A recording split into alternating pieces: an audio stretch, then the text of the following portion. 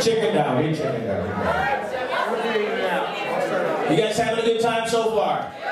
Alright, I'm just checking. I'm gonna check on you every now and then. I think I'm gonna do a song so I can get myself out of the way and I can take care of everybody else. Is that okay with you guys? Alright. Sweetie. And I think I have it right here.